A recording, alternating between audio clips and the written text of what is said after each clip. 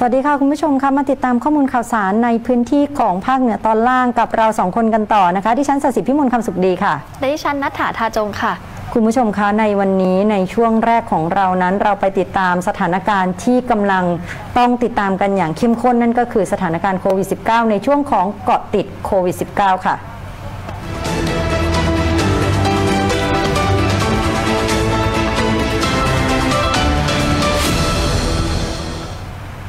ช่วงของเกาะติดโควิด -19 ในวันนี้นะคะ เรื่องแรกเลยเรามาดูกันในเรื่องของการเตรียมความพร้อม เกี่ยวกับโรงพยาบาลสนาม ในการฉีดวัคซีนให้กับผู้ป่วย หรืออาขอโทษขออภัยคุณผู้ชมให้กับพี่น้องประชาชนค่ะนะในพื้นที่ของจังหวัดพิษณุโลกกันค่ะนายรณชัยจิตวิเศษผู้ว่าราชการจังหวัดพิษณุโลกนะคะ ท่านก็ได้แถลงข่าว หลังจากที่ได้มีการเตรียมความพร้อมในการย้ายสถานที่ฉีดวัคซีน จากโรงพยาบาลพุทธชินราชพิษณุโลกนะคะ ย้ายไปเป็นโรงพยาบาล สนามที่หอประชุมวชิรโชตมหาวิทยาลัยราชภัฏพิบูลสงคราม ซึ่งก็จะเปิดให้ฉีดวัคซีนในวันที่ 7 มิถุนายนนี้ค่ะ เพื่อที่จะให้โรงพยาบาลพุทธชินราชนั้นมีประสิทธิภาพในการดูแลผู้ป่วยที่มาใช้บริการในด้านอื่น ๆ มากขึ้นนะคะอีกทั้งในโรงพยาบาลสนามในการฉีดวัคซีนนั้นก็จะทำให้ประชาชนที่มารับบริการนั้น มีปริมาณ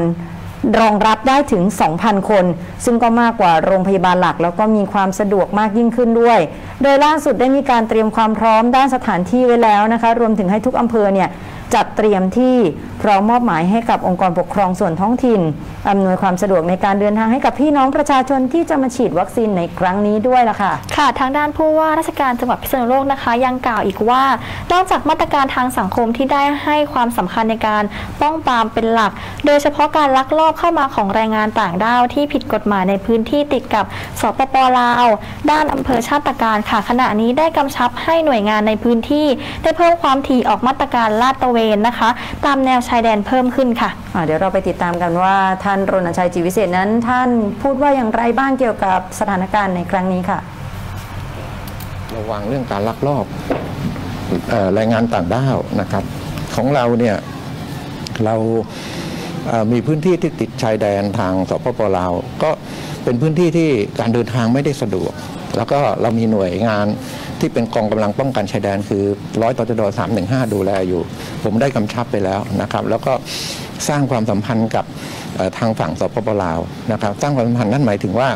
จะได้มีข่าวมีอะไรช่วยกันดูช่วยกันกรอง ตรงนี้ไม่น่าเป็นห่วง